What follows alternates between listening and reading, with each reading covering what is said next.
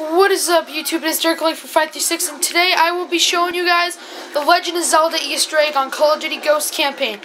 Now, what you gotta do is, right as on mission 3, you should be throwing some gas to stop those guys.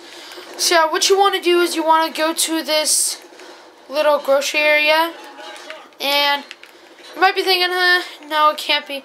Now this isn't, alright, here it is.